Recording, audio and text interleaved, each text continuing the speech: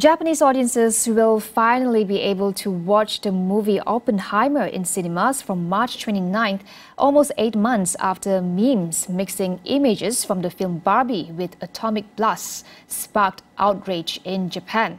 Distribution company Bitters End made the announcement just a day after the biopic of the atomic bomb creator received 13 Oscar nominations. The nominees for Best Motion Picture the of release the of year Barbie and Oppenheimer, collectively known as Barbenheimer, sparked a fierce public backlash in Japan after a mashup poster featuring images of Barbie and a mushroom cloud was endorsed by Warner Bros., the studio behind Barbie, in a now deleted social media post. The outrage prompted an apology from Warner Brothers Japan. Christopher Nolan's hit film was also criticized for its insensitivity to the only country to have suffered atomic bombings. On Tuesday, Oppenheimer landed a leading 13 Oscar nominations, cementing its role as the front-runner for the prestigious Best Picture trophy.